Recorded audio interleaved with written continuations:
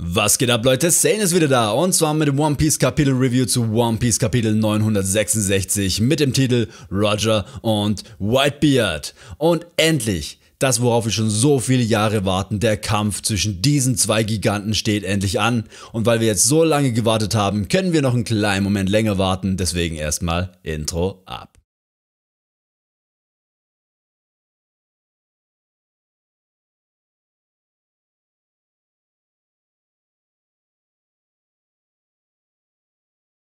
Auf der Coverpage sehen wir Chiffon, wie sie beim Friseur sitzt. Plötzlich kommen drei Dudes hinein und wollen sie wohl festnehmen. Zumindest haben sie einen Steckbrief von Capone in der Hand.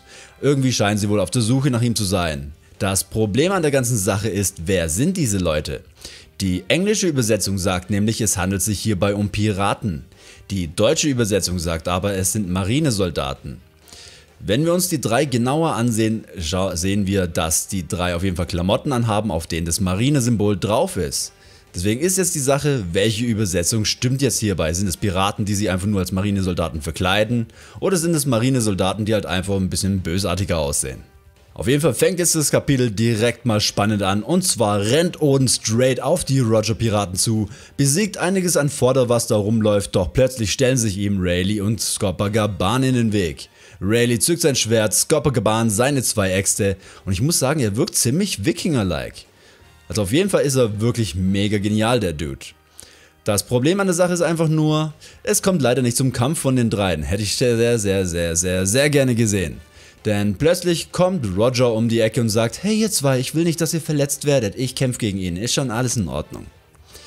Ja, Roger ist wirklich ein gerissener Dude. Er möchte so gerne gegen Oden kämpfen, deswegen lässt er sich von niemandem aufhalten. Auf jeden Fall springt er auch auf Oden zu, macht einen Slash mit seinem Schwert und mit nur einem einzigen Hieb schickt der Oden direkt mal ab in einen Berg.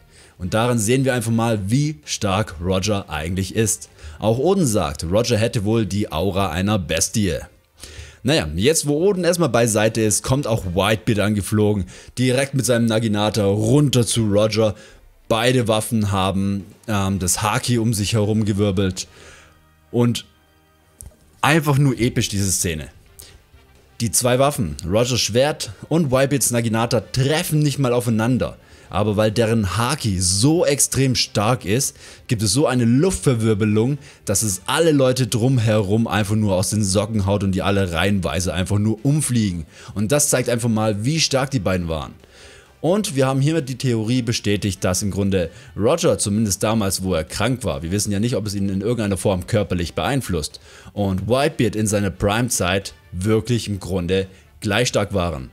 Das Interessante an der Sache ist, wir sehen kein einziges Panel, wo Whitebeard auch mal seine Gura Nomie benutzt. Hatte er sie damals noch gar nicht? Naja, ich denke eigentlich eher schon, er wird sie einfach wahrscheinlich nur nicht benutzt haben, weil sonst wäre wahrscheinlich die ganze Insel Fujikato gewesen. Ähm, auf jeden Fall sprechen die beiden am Ende miteinander und sagen so, ah, es ist schon lange Jahre her. Ja, da hast du recht. Die sprechen wohl auf den God Valley Vorfall an. Und hier ist die Frage, war Whitebeard damals auch schon so stark oder war er damals noch deutlich schwächer? Denn immerhin hat Roger zusammen mit seiner Bande, Garb und ein paar Marinesoldaten die komplette Crew von Rocks auseinandergenommen. Da waren Leute noch dabei wie Whitebeard, wie Kaido, wie Big Mom oder wie The Rocks, die Sebek. Das lässt wirklich diese Vermutung nahe, dass Roger wahrscheinlich damals, wo er noch nicht krank war, nochmal ein ganzes Stückchen stärker war. Naja, auf jeden Fall, jetzt wo die zwei Kapitäne gegeneinander kämpfen, lässt sich auch die Crews nicht mehr aufhalten, weswegen die zwei aneinander stürzen. Der Kampf geht drei Tage, drei Nächte, leider sehen wir davon absolut gar nichts. Das war so ein bisschen enttäuschend in diesem Kapitel, wir sehen kein bisschen Clash außer zwischen Roger, Whitebeard und Roger und Oden. Naja gut, man kann nicht alles haben. Auf jeden Fall dann am vierten Tag hat sich alles beruhigt. Die Kämpfe sind vorbei, die Roger Piraten, die Whitebeard Piraten, sie feiern zusammen, sie trinken zusammen, sie tauschen sich gegenseitig Sachen aus und alles scheint ganz entspannt zu sein. Die Szene switcht danach rüber in die Kinderkrabbelgruppe. Wir sehen auf der einen Seite Shanks und Buggy und auf der anderen Seite sehen wir Marco, Josu und Blackbeard. Alle haben so ein paar Wunden abbekommen, also haben sie wohl auch ordentlich mitgefightet. Und dann wirft Buggy etwas extrem Interessantes in den Raum. Und zwar sagt er, hey, da, dieser Blackbeard-Dude, der da drüben, der da steht.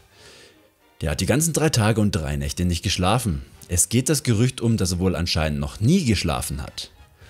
Und das ist wirklich sehr interessant, denn wieso sollte ein Blackbeard niemals schlafen? Ich könnte mir hierbei mehrere Szenarien vorstellen. Entweder kann er einfach nicht schlafen, weil er irgendwas Schlimmes erlebt hat und deswegen immer Albträume hat. Aber eine andere, etwas interessantere Variante wäre, dass irgendwas in seinem Körper ist. Wir wissen ja, sein Körper ist etwas abnormal, er kann mehrere Teufelsfrüchte in sich haben und es gibt ja diese Theorien, dass er irgendwie einen toten Fötus in sich hat oder eine zweite Seele oder so und deswegen mehrere Teufelsfrüchte verspeisen kann. Was ist, wenn das wirklich so ist mit dieser Seele? Und wenn er schlafen würde, würde die Seele seinen Körper übernehmen. So ähnlich wie das bei Cavendish und auch Hakuba so ist. Ganz interessant, ha? Die Szene switcht wieder mal und wir sehen Roger, Whitebit und Oden, wie sie sich unterhalten. Roger hat eine Kopie von einem Pornoglyph in der Hand und Oden sagt, dass er das lesen könne. Oden erklärt, dass das Entschlüsseln dieser Codes von Generation zu Generation im Kozuki-Clan immer an den Erstgeborenen weitergegeben wurde. Roger sagt dann, er hat diese Kopie vor 13 Jahren gemacht. Die Roger Piraten sind auf die letzte Insel gekommen, die man mit dem Logpost erreichen kann, doch sie ist tatsächlich nicht die allerletzte Insel. Interessant ist anscheinend, wenn man diese Route entlang geht, durch die Grand Line, durch die neue Welt, kommt man an eine Insel. Diese Insel nennt sich Roadstar.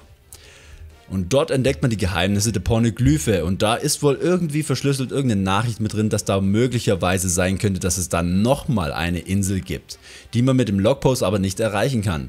Denn sobald man auf Roadstar landet, dreht der Logpost einfach nur durch. Er findet keinen Kurs mehr, er findet keine andere Insel mehr. Das könnte mehrere Ursachen haben. Entweder ist das Magnetfeld dort so stark, dass der Logpost einfach durchdreht oder die andere letzte Insel, Lovetail, wir wissen ja mittlerweile, wie sie heißt, hat irgendwie ein sehr komisches Magnetfeld um sich oder halt kein wirkliches Magnetfeld. Es könnte aber auch sein, dass es sich dabei um eine Himmelsinsel handelt. Dadurch, dass der Logpost ja nichts an sich richtig gut nach oben zeigen kann, dreht sie halt auch wieder durch. Wir wissen es nicht, wir wissen es nicht. Naja, doch Roger ist sich auf jeden Fall sicher, dass es eben nicht die letzte Insel ist, die es zu entdecken gibt, dieses Roadstar, sondern dass da noch eine Insel mehr sein muss. Und es gibt vier Pornoglyphe, die wir ja mittlerweile als Road Pornoglyphe kennen, die wohl alle Hinweise auf einzelne Inseln geben. Und wenn man diese Punkte miteinander verbindet, kommt man zur letzten Insel, Lovetail. Roger möchte sich unbedingt Oden für ein Jahr ausleihen. Roger beugt sich sogar vor Oden und Whitebeard und Whitebeard ist daraufhin ziemlich angepisst. Doch Oden sagt, er möchte wirklich sehr, sehr gerne mitgehen. Iso bleibt aber komischerweise bei Whitebeard und hier verstehe ich diese ganze Decision Making nicht so ganz. Wieso bleibt er denn bei Whitebeard? Warum geht er nicht mit? Ich meine, er wollte die ganze Zeit Oden beschützen, ist ins Meer hinterhergesprungen etc. pp. Und jetzt bleibt er halt einfach bei Whitebeard. Na gut. Zumindest Nekomamushi und Inuarashi schleichen sich aufs Schiff der Roger Piratenbande, so gehen die nämlich auch mit auf Abenteuerfahrt und die Roger Piraten setzen Segel. Eine der ersten Inseln, die wir sehen, die sie ansteuern, ist die Himmelsinsel Skypia. Dort finden sie auch die Himmelsglocke von Shandora. Oden sagt, dort ist etwas über die Waffe Poseidon geschrieben. Wir wissen ja mittlerweile, hierbei handelt es sich um Shirahoshi.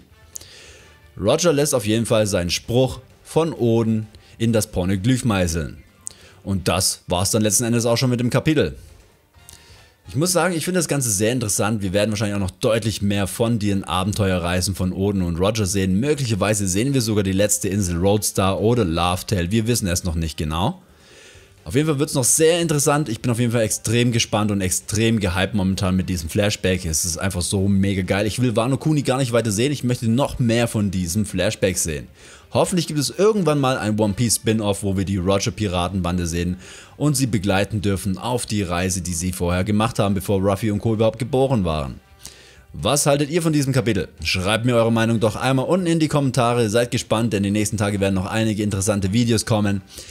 Wenn ihr dieses Video hier aber mochtet, drückt einmal auf den Like-Button, einfach um mir zu helfen. Teilt das Video natürlich auch und klickt auf den Abo-Button, um kein weiteres Video mehr zu verpassen. Bis zum nächsten Mal wünsche ich euch wie immer viel Spaß, haut rein und ciao.